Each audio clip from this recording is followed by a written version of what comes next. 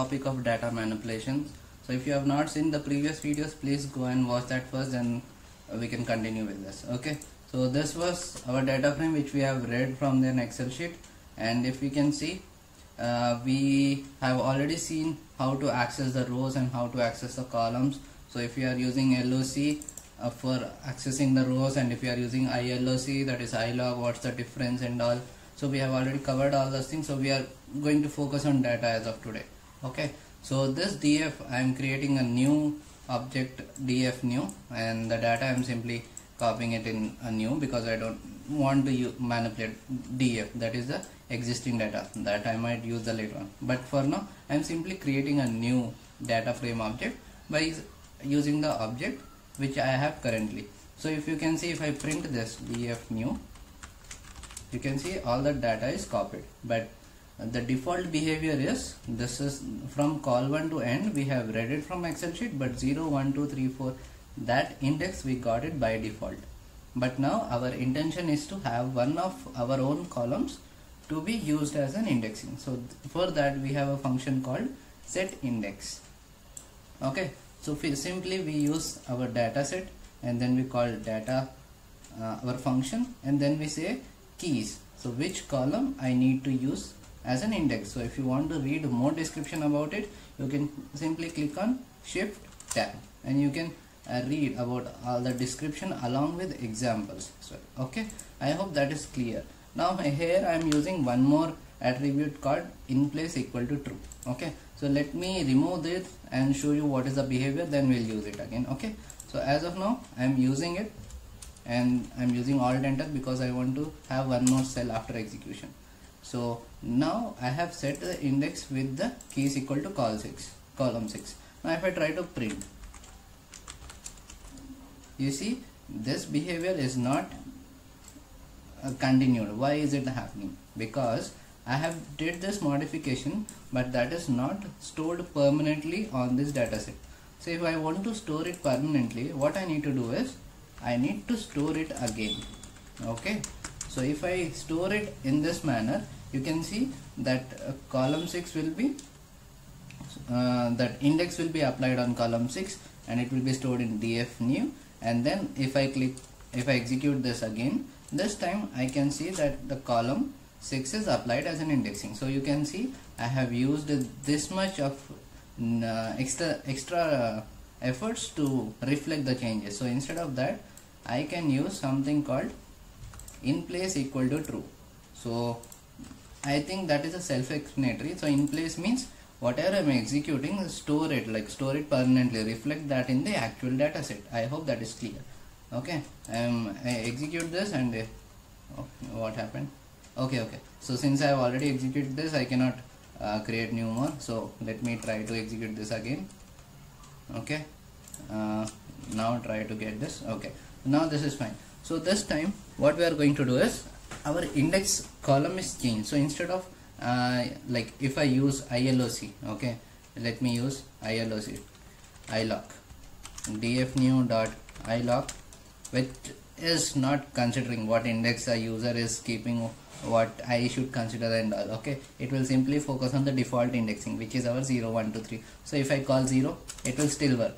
No effect on the ILOC but previously when we used to call okay? So because to show the difference I have not uh, modified the existing data frame. So th this was our old thing where I was using LOC of 0 so there I am able to access. What happened? Data frame oh, okay something got wrong. Df dot loc so there what was our loc is 0 let's try to access it again. Oh one second right so data set got modified I have corrected it. Now so previously when we are trying to access df.loc it was giving me. But now when I am having the similar kind of data into the new data set where I have changed the indexing I cannot use 0 again. Okay because LOC is like it will be used whatever indexing we as a user has defined. So if I try to access it I will get an error because there is no such thing for indexing okay? Now we have modified it to str2 str3 so let's try to access this str2 so you can see now instead of using 0 ones which is the default indexing I need to use mention the custom uh, values of the indexing that I have uh, as an end user kept okay? I hope that is clear. And next we are going to see that as of now we have something called okay I'll write it here df new so that before modification you can see. So as of now you can see we have column 1 column 2 column 6 okay and we can use this other names. So for that we have function called rename. So in that the first parameter we can say using shift tab. Let me scroll down. Using shift tab you can see I have something called columns and what does this says okay you can go through description later on. But this columns I'll mention the list of column names that I want to use for the renaming thing and then the indexing. Okay so here you can see this index was uh, okay let me execute this and show you. So this index I was using right? So this columns so this parameter columns parameter is for the renaming thing okay? So the renaming of columns will be done under columns but renaming of index index will be done under the index parameter. So whatever parameters I am going to write here everything will be for the renaming purpose. So you can see in our previous indexing column we had an index value with str2 now we want to modify the index name. So now index name will be 1 so that's how we are renaming anything that we want. It might be the column name index name or anything. You can try other parameters. Do we have any such? Shift tab. Let me see. Column axis copy. Okay you can try other parameters. That's fine. Yeah. So now if I execute you can see what happened. Df new. This column name got changed. What happened to index? Let me execute this once. Df new. One second. I think I messed up. One second. Okay. So now we are good you can see my data frame new now will become this is the old one. Don't consider this this is the old one. So I tried getting it again from the df okay? So this was the previous operations. I'm executing again. Oh what happened? Let me okay. So here my issue is I have modified the df already. So I'll correct that and get back to this uh, cell again. Let me uh, go back and read again. This is where I was reading now where am I assigning? Here. Here I have assigned. Here I will execute again. And this is my new data frame.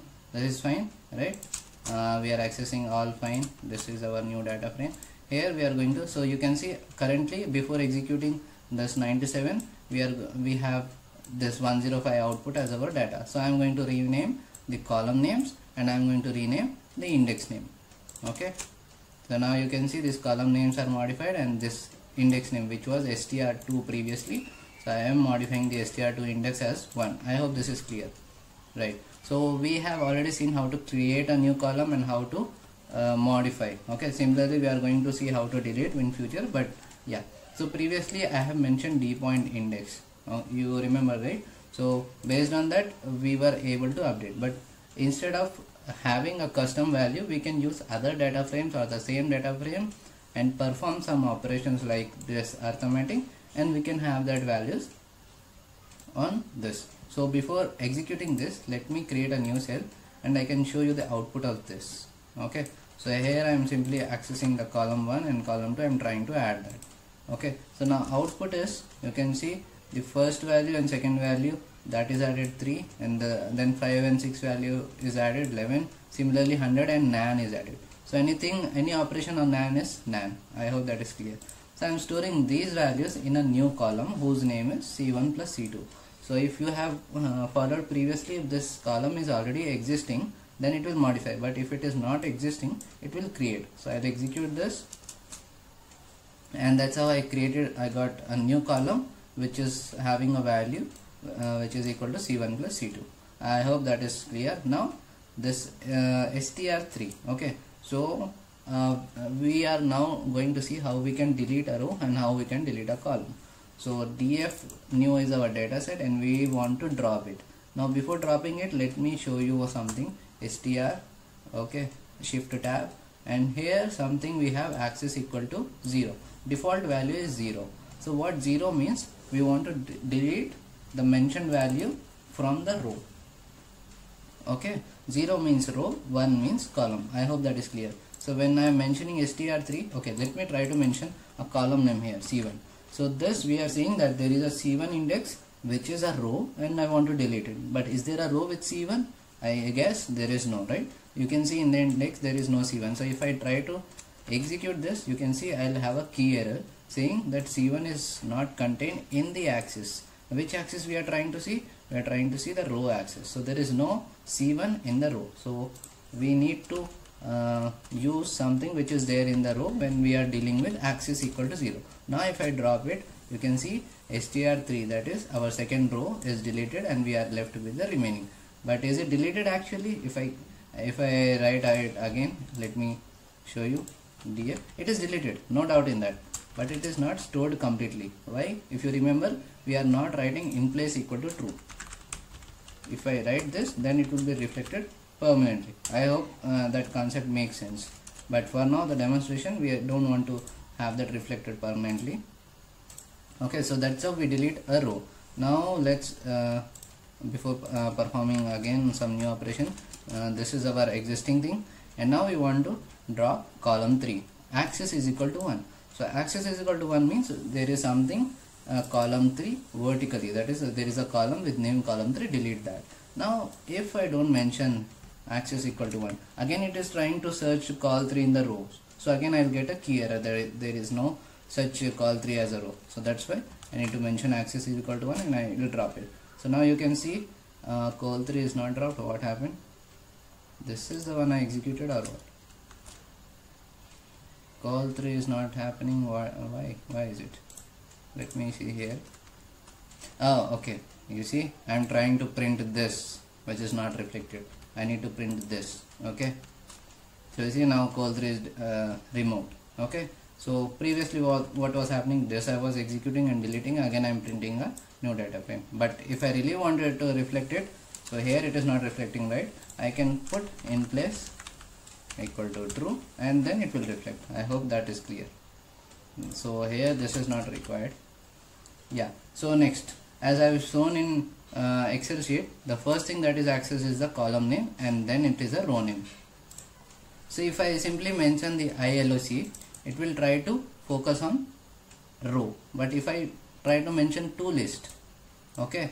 So let me create a new one here okay.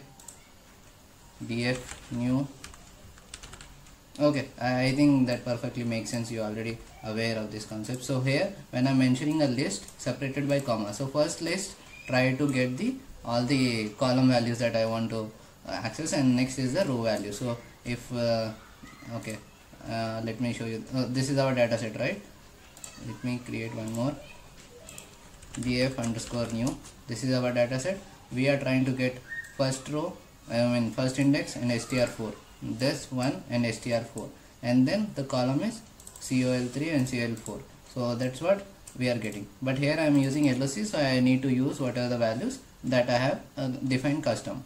But when I am using ILOC I need to use the numerical the positional arguments like if str3 means 1 so 0 1 2 3 4 that's how similarly column by 0 1 2 3 I hope that is clear. Yeah. So now I am again going to use the filtering on, on all the data sets so here I am not trying to access any specific column. That's why when I am applying some condition it will be applied to all the data sets. So if, now if now I try to execute you can see this one is greater than 1 false. This 54 is greater than true. Okay? This nan again false. So this cannot be uh, like this will lead to the failure result. So that's how uh, our what we can say data frame is handling that exception and giving uh, us as a false so any operations performed on nan will be nan okay? Uh, so that was our thing. And this result right? This true and false. We are trying to store in one more data frame. So as we have seen previously when we were using uh, what we can say a single list of boolean at that time we were based on that index we were filtering the uh, this index and based on which is true which is false we are trying to fetch those rows. But when I'm trying to uh, do the filter on the complete data set. So this time whichever is true or whichever is false there based on that it will show whether to show the result or not. So wherever it is true okay there I am going to get the value and wherever it is false there I am going to get not a number.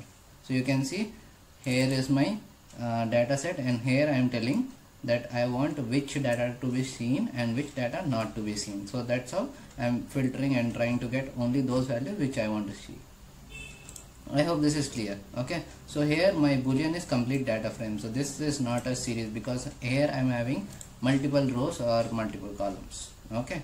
Now I am trying to filter a column 2 so this is column 2 here I am filtering based on a number. So this time since I am getting only one okay? So if I uh, printed you can see I am getting only one. Because it is only a one row or one column it is known as a series. But if I add multiple then it is a data frames okay so this time uh, I am going to get again I am applying the same thing on one more column. There's uh, no difference. Okay? So you can see when I am having the single series at that time what happening is this is applied on every row. So let me show you this data set. So suppose I have a complete data set of true and false. At that time it is applied on each record. Okay? It's like this false will be applied to this false. This true will be applied to this true. But if I have only single record. Okay single uh, array like this. So at that time what happen will be false true true false true. How this is going to apply is false true true false true. On one column it will be applied. Similarly it is going to be applied on other false true true false true. Similarly on the other row so that's how we are going to fetch the record. I hope that is clear. So that's what we are doing here. So here we got a single we can series of boolean values and based on that when I am filtering it will be applied on every column. So that's how I am fetching a, a, required row. I hope that makes sense okay? So here I had only one decisions okay? So whether this is true or whether this is false based on that I am getting rows. But similarly I can do multiple as well okay? So that's why we had decision 1 done on the C2 like I can say C2 should be greater than 5 and C1 plus C2 should be less than 15 if that is my condition I need to mention the result of first and second. So if both are true and true in that case only we are going to get true. In all the other cases we are not going to get that record. I hope that makes sense. Okay? So this was our AND. Uh, if you don't know about the AND gates or OR gates please go and uh, google that. Then you can see what is happening. So here basically what we are saying is when decision 1 is true and decision 2 is true only then get me that true. okay? And similarly in the OR means if decision 1 or decision 2 either of them or at least one of them. At least one of them is true then get me that row. Okay? So based on that we are getting.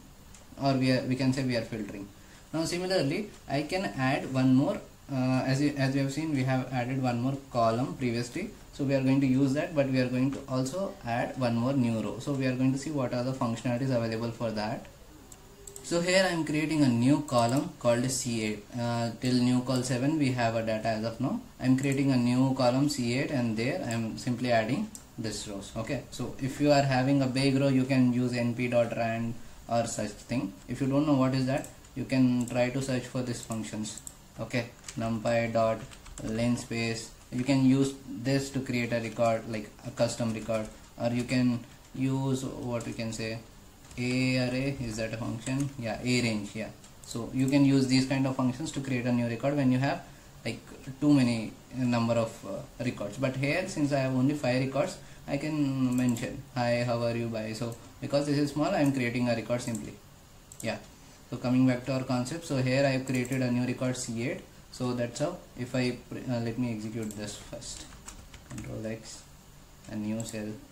I'll add this later let me run this df okay so a new column is added. Similarly I can add here one more. Df new. Okay so here you can see uh, append function. So uh, there is no reflection as of now because there will be some functional differences. Here I am applying directly on data frame so it is getting reflected.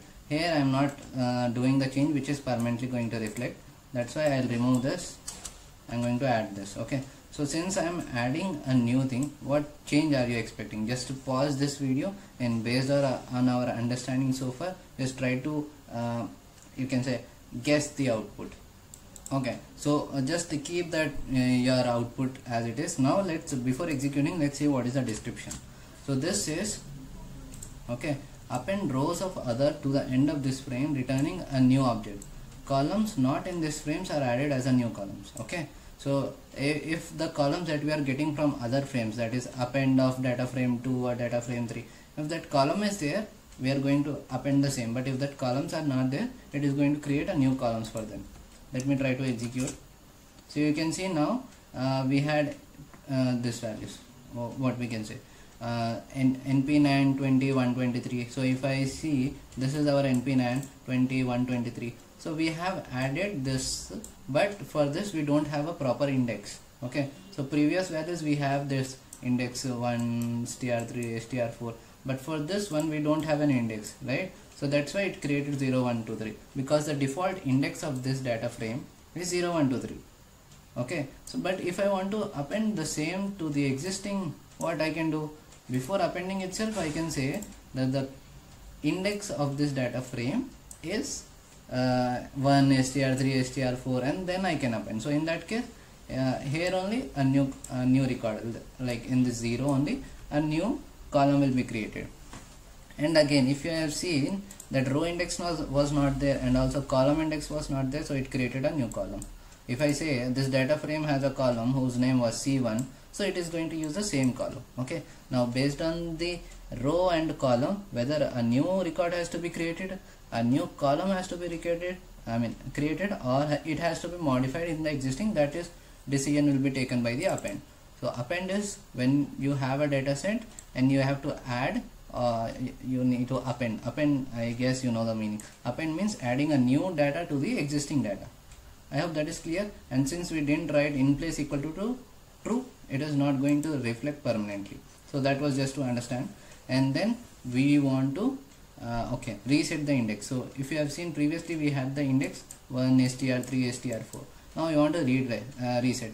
So for resetting we are going to say that in place equal to true. So in place equal to true you know it already. Now why i'm saying drop equal to true? Okay so let me remove this and let me remove this or, or i can do the comment here. And let me execute this. Control c okay let me execute and if you can see now that 0 1 2 3 4 a new custom index has been resetted okay? But now what happening? The call 6 which I was using as an index is now treated as a column okay? So uh, why that is uh, coming? Because if you see the documentation uh, uh, we can see where is that drop is equal to false.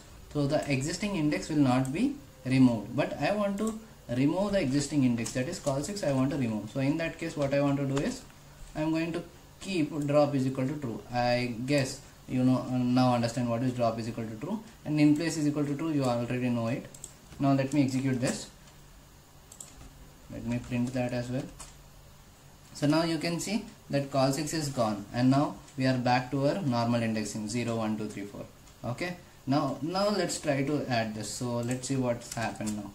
Okay? Now again uh, this, this you can see 0 1 2 3 4 is created. Why? Because this new data set that you are having doesn't have a column name 0 okay? I mean the existing data set doesn't have any column whose name is 0 but the new incoming thing is a having a column 0 so 0 it got from the default column index. Okay? I think we have spent too much time on that. Let's move on.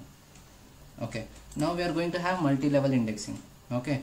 So this is like a single index single row index this is a single column index. Now we are going to see how to have a multiple index and that's it. We are done. Okay? So we are creating a two list level 1 and level 2 and then we have something called zip.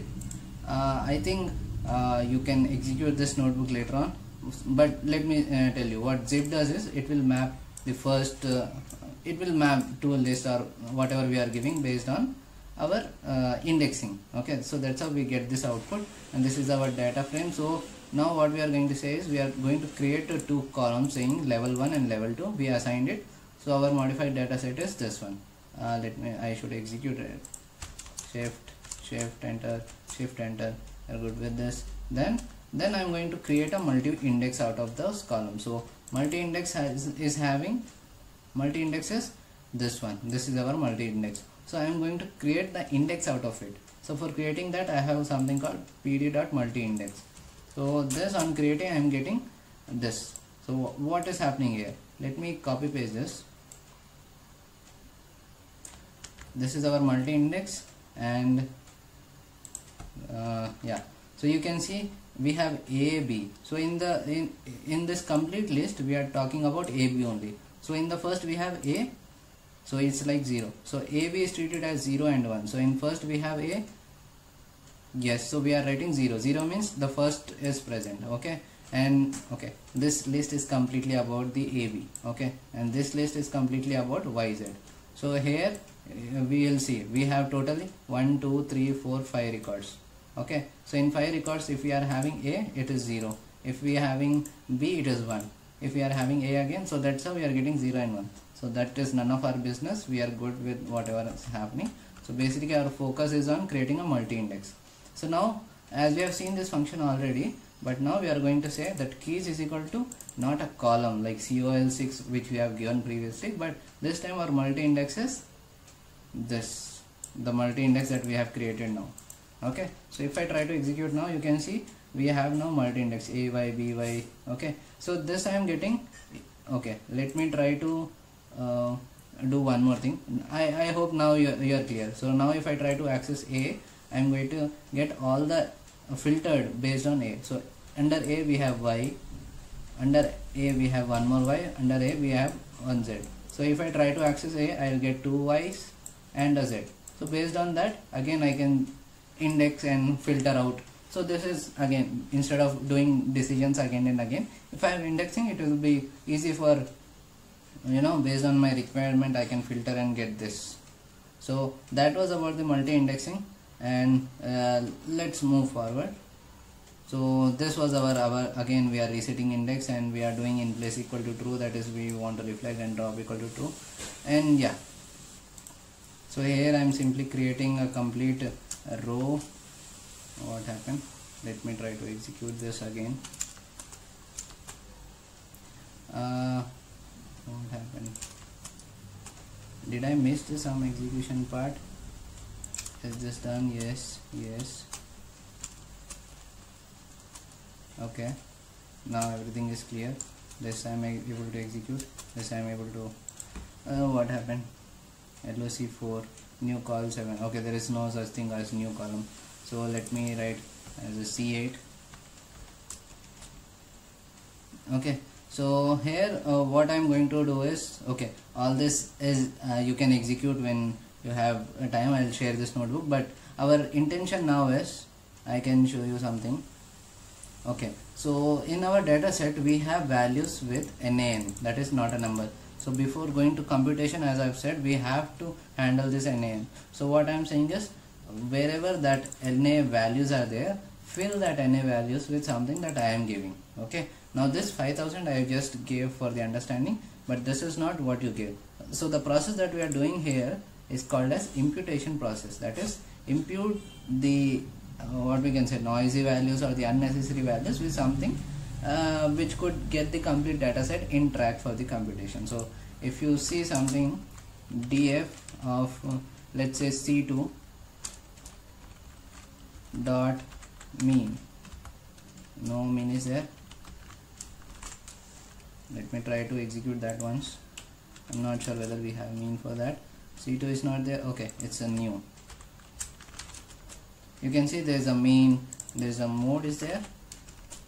Yeah similarly you have median. So you can use these kind of functionalities and you can put that in place of value so that is like just for now. But future we are going to use some proper mathematics and we are going to get some proper value and then we are going to use that value to improve. But for now I am adding mode you can also use mean and then put the or replace the values of NA with the mean. So you can do that. Now we are going to focus on the group by okay? So what we are saying is here we have a column called level 1 so level 1 has how many categories if you try to do dot categories you will get A and B. So we have two categories. So we are doing group by based on level 1 so whatever rows are having A that will be one group and whatever rows are having B that will be a group 2 so that's how we are doing group by based on levels okay? I hope uh, that makes sense. Let me comment this and if you can see uh, okay that is executed but it is not showing. Group by result okay so what happened? Okay that is an object so I think we need to uh, iterate on that. Let me do like this. For x in okay print x uh, what happened? Missing parenthesis parent oh okay. So that kind of print we used to do in our uh, you can say old kind of uh, old python version. So let me write this not printing. Okay so the format is not fine but here you can see uh, for every row. So these are the rows these three rows are there in the group a. Okay now these these two rows are in the group b. So i hope uh, you got what is output of group by. Okay so now what i'm to do i'm going to do is i'm simply trying to get the mean of all the rows based on uh, the groups. So in the level 1 group for column 1 we have this mean. For column 2 we have this mean. Similarly for the other group that is b which is having two rows. So in that in those uh, we are trying to get the mean. So here we tried to filter based on the condition and then we try to apply what are the functionalities we wanted based on the divided data set. Okay? So that's how we are going to like if you want to discriminate based on male female or age category. So that's how we are going to filter and we are going to get the mean. I hope that makes sense. Okay. So if i simply write data frame dot mean it will be applied on the complete data set but here i'm dividing some data set based on some condition and then i'm taking the mean. Similarly this group by result if i try to describe you can see previously uh, we were getting uh, only this stuff. So this stuff we are getting previously also. But now we have divided the data set into two based on certain conditions and then we are applying all the other functions. I hope that makes sense so that was our about our group. By try out all this and if you have any queries or if you face any issues in ex executing all this first try the documentation using shift tabs and tabs and then uh, if you are still not able to find you can write down in the comment section. So yeah that's it for now. Thank you